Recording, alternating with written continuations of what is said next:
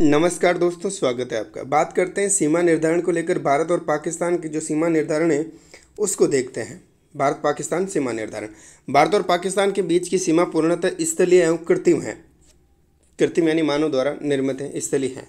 जो कश्मीर से आरंभ होती है, कश्मीर से कश्मीर से शुरू होती है, फिर पंजाब, फिर आपके इधर इधर पश्चिम राजस्थान, ठीक है ना? और फिर कच्छ प्रदेश तक विस्तृत है, ठीक है? पाकिस्तान शासित कश्मीर का सीमांत क्षेत्र पर्वतीय है। ठीक है ना? पर्वतीय है। आपके पाकिस्तान शासित जो कश्मीर का जो सीमांत प्रदेश जो सीमा पर स्थित है, पाकिस्तान का, पाकिस्तान शासित यानी जिस इस पर पाकिस्तान का कब्जा है, पाकिस्तान का शासन है, वो वहाँ का जो सीमांत क्षेत्र वो क्या है? पर्वतीय है। इस पर पाकिस्तान अवैध रूप से अधिकार किए हुए है। गुजरात, राजस्थान और पंजाब की पाकिस्तान के मध्य लगभग तीन हज़ार तीन सौ तेईस किलोमीटर लंबी सीमा रेखा है।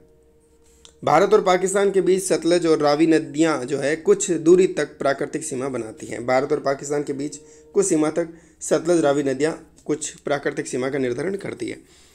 अमृतसर ज़िले में रावी नदी दक्षिण की ओर और फिरोजपुर ज़िले में सतलज नदी भारत पाक की सीमा निर्धारित करती है। भा, भारत पाक की सीमा जो है ये अमृतसर ज़िले में रावी नदी दक्षिण की ओर करती है। फिरोजपुर ज़िले में सतलज नदी भारत पाक की सीमा निर्धारित ये करती है। भारत और पाकिस्तान के बीच हुए वर्ष 1971 के युद्ध के बाद पाकिस्तान और भारत के बीच की नियंत्रण रेखा का निर्धारण किया गया है। 1970 में जो भारत पाक युद्ध हुआ, उसके बाद।